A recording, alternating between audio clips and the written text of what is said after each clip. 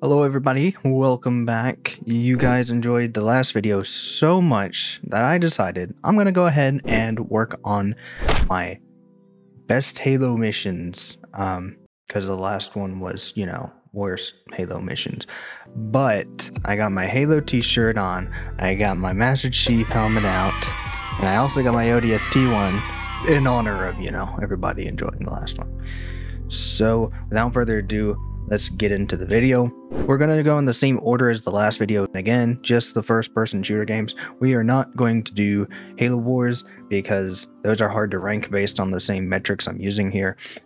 So, for Halo Combat Evolved, my honorable mention was Assault on the con Control Room because Assault on the Control Room has very epic battles. You rendezvous with some Marine squads. is beautiful if you love snow. If you don't love snow, it's probably not as beautiful to you but I like snow. And it's got really cool encounters. So, like when the Pelican's downed, you know, and you rally with the Marines and you go through tunnels, blah, blah. Not gonna spend much time on honorable mentions because we have the top pick being Truth and Reconciliation. That's probably not everybody's top pick, and I completely understand. For me, it's my personal favorite because I love the concept of boarding a Covenant cruiser and, you know, saving the crew from the Pillar of Autumn and specifically the setting of it is also what adds on to how much I like it. It's on top of a mesa, and you can see the gas giant that the ring's orbiting, which is really cool.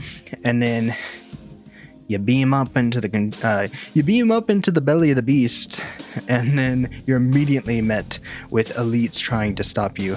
It's just really cool overall. You go through the mission, and of course, since and people say they don't like Truth and Rec because it's a maze.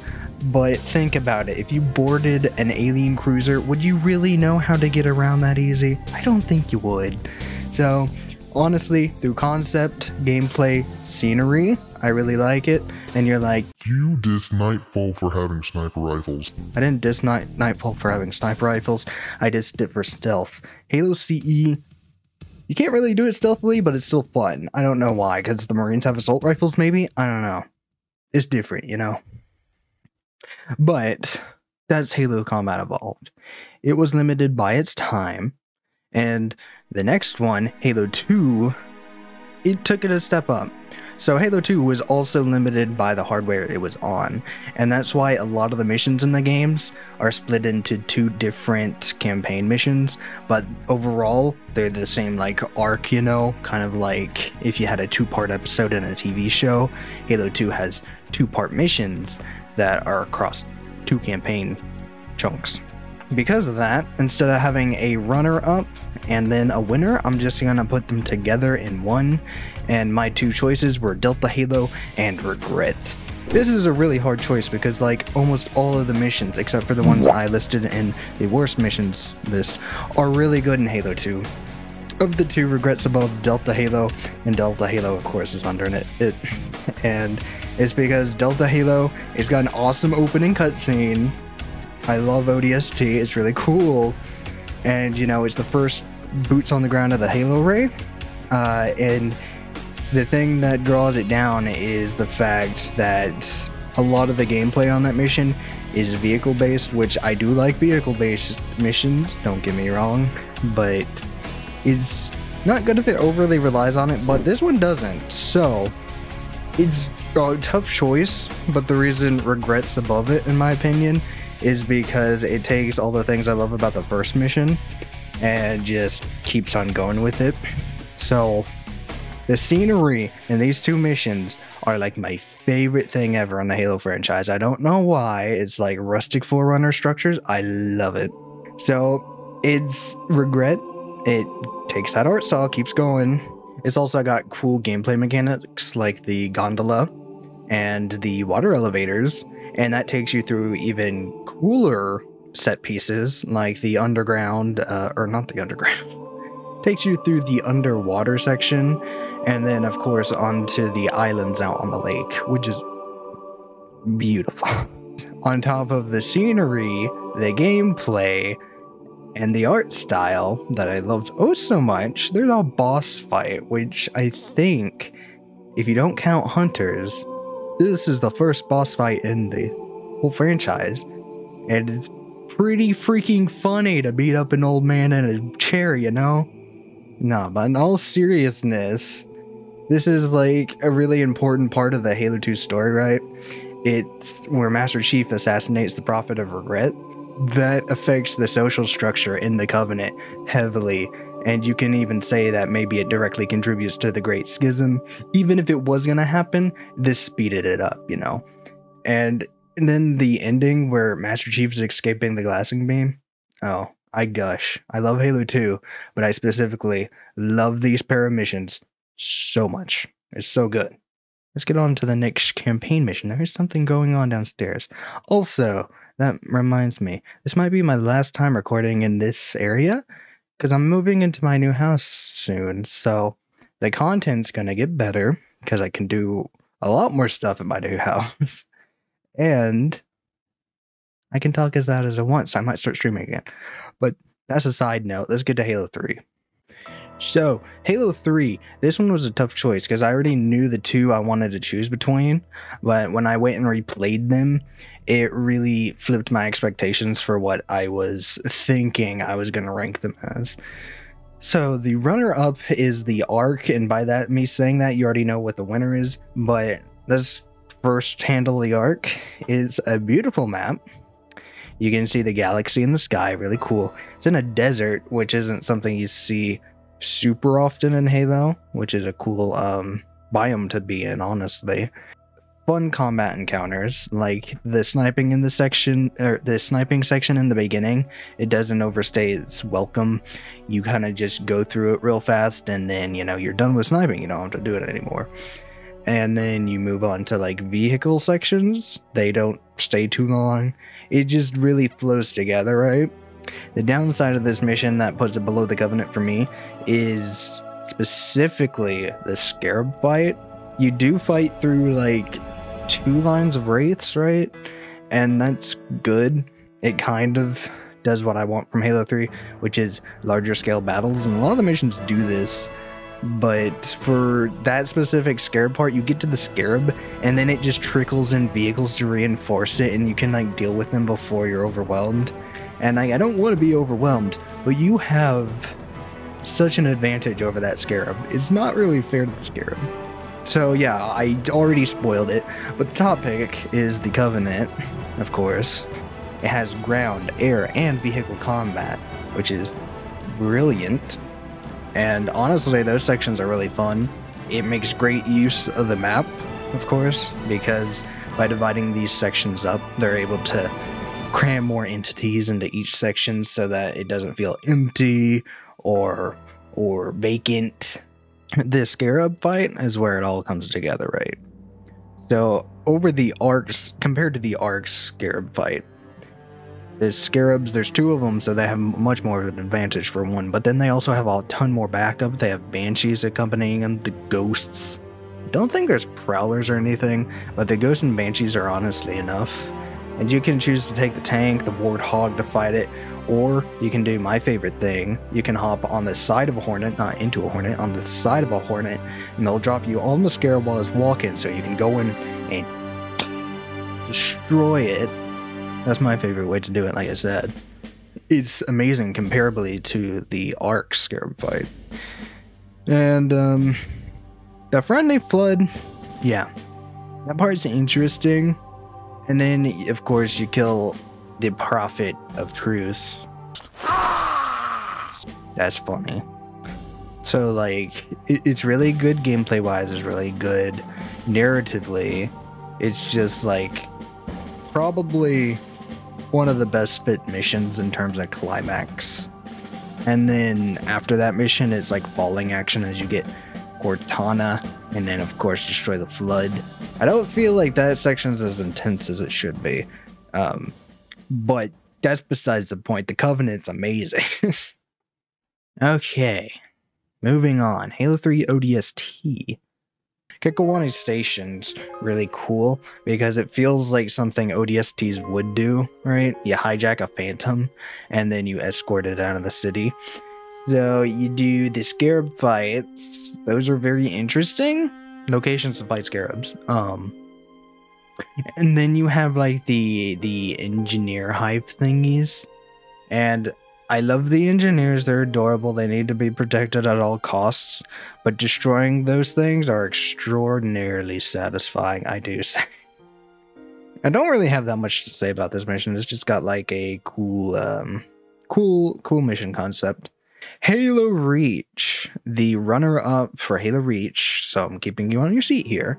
Uh, the runner up Tip the Spear. Boo boo! Shut your mouth. I'd stop booing. Uh, I have my reasons, trust me, and it's the same logic I used before. If you don't agree with my stuff, that's fine. But the, hear me out, hear me out, okay? So, the reason Tip of the Spear is a runner up for me is because it has amazing vehicle combat. Destroying the AA guns is really satisfying, right? The Spire segment climax is also really satisfying. Uh, unfortunately, what brought it down to the runner up for me is you miss out on a large scale battle because they reduce it to a cutscene. And really would have been cool to see just like a little bit more of the stuff you saw in Halo 3, right? With the big uh, armored units. Because I feel like they could have at least done a little bit with it, but they decided not to. So that's what that, that's what holds it back for me. But because it does have a big, large battle that's restricted to the cutscene in the background, it does have some awesome backdrops. so if that's not my top pick, what is you may uh, you might if that's not my top pick, what is my top pick? You might ask. My top pick is Long Night of Solace. Mm-hmm. That's right. I chose that one. So, um, the story for this mission is you're counterattacking the Covenant. You know, after they are after the events of Tip of the Spear, that super carrier, you gotta take it out, right? And this mission is really cool. Although I will say the Saber gameplay is hit or miss. You may like it, you may hate it. On Legendary, I tend to hate it, but with friends, it can be fun. Boarding the carrier is awesome. And here is where I'm saying, hey, my personal opinion, this is what it's telling me, right? So I chose I chose Truth and Rec, right, on the first mission, specifically because I like that concept of boarding the carrier. And this one's a similar thing, but it takes a ste- step up because you're not just fighting and getting people out of there. You are taking control of the carrier and sending it to the super carrier so you can blow it up. So I think that's like really cool. And I talked to my friend too on this one because, like I said in the last one, Halo Reach, I've my rose tinted glasses have fallen off, and it's not the same as it used to be for me, and I don't know why. But I consulted with him because he still enjoys the game, right? And he said that he also he, he's stuck between two, and his second pick is Lone Wolf, and I feel like Lone Wolf's too short to even consider on here personally. Um, but his other pick was Long Night of Solace too, so. I typed the wrong mission title on Halo 4. Hmm. So, okay, I looked it up. I know what it is. The top pick I have for Halo 4, despite the document saying well, otherwise, the document's wrong for once. The top pick is Dawn, or the Dawn, whatever it's called. The one where you're on the Forward Unto Dawn still, right? It's got a really strong opening. It's a strong opening for the game as a whole. Not to say anything about the rest of the game, but it's a really strong opening. Uh, you wake up from cryo after the events of Halo 3, right? And then the ship's being boarded. You don't know why the Covenant is back or anything right yet. All the combat scenarios that you get put in during this mission are really fun, and my personal favorite is the spacewalk that you do, fighting off the EVA Covenant so that you can launch the missile. I really love spacewalks in games. I always was tempted to mention Cairo Station on Halo 2, but as I said, you know, compared to the rest of the campaign, that's like one of my favorite things in it. And it's got a really intense climax. And number one point for it being here, you don't have to deal with Prometheans. So take that as you will. The runner up This is really funny, by the way. This is the only mission that somehow made it into both lists. The runner up is Midnight because I replayed it, right? And I decided I was too hard on this. Um, Midnight, broadside, broadsword section, really phenomenal, really fun. Really good climax for the story you're trying to tell. You are trying to stop the Didact from carrying on his plan. You get there a tad bit too late, but you're still able to stop him through sacrifice of Cortana and stuff. Uh, solid ending, but also a sad ending. So that's why it's a runner-up. Um, some of these sections drag though, so it couldn't be the best, but it got itself up there with that.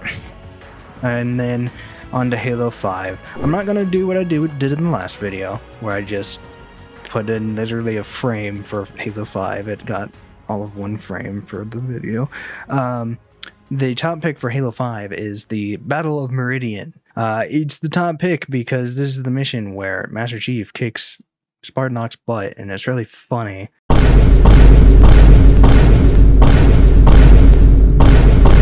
Skill issue. You can't give Halo 5 too many points for any of its narrative story because it's kind of yucky and messy and all that. But some people like the gameplay, and that's fine. But honestly, this is my favorite part of the game because you get to see Master Chief go ham. Halo Infinite. Top pick, hands down, Pelican down. Always, I don't have a script. My script here is just notes. And when I said uh, hands down, it was like, it's not a rhyme or anything. It just sounded bad. That's why I'm apologizing. I'm gonna hop around to my bullet port points here. So the reason this mission, in my opinion, is so good is because it's not super open and free like all the other missions in the game. Like I said, the sequence in the last video where I said down was the worst. A lot of the reason it was docked was because it was super draggy because you're traveling across the map doing stuff. This mission does basically the opposite of it. It restricts you to one area with one objective, and it's really cool. Um, I forget how you get in the situation, but of course, as the mission title says, Pelican is down, and you have to go and take down AA emplacements. And with that, it's progressing the narrative with each AA you take down. And then once you get all the AAs offline and you go back to the Pelican, you are stuck in a boss fight with two pretty cool designed brutes. The the way they combo together is really cool. One stays at range with a cannon, the other one's on a vehicle.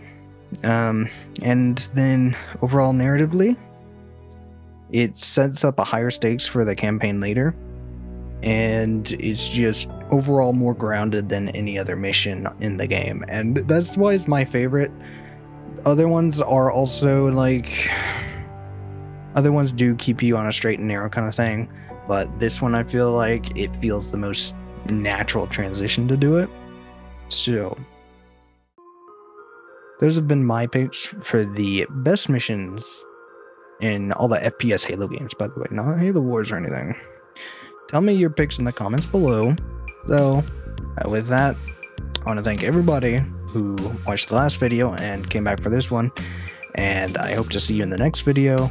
And if you have any videos you'd specifically like to see, put them in the comments, whether it be more lists like this or I can do some more explaining. But I hope everybody enjoyed, and I'll see you in the next video. Bye bye.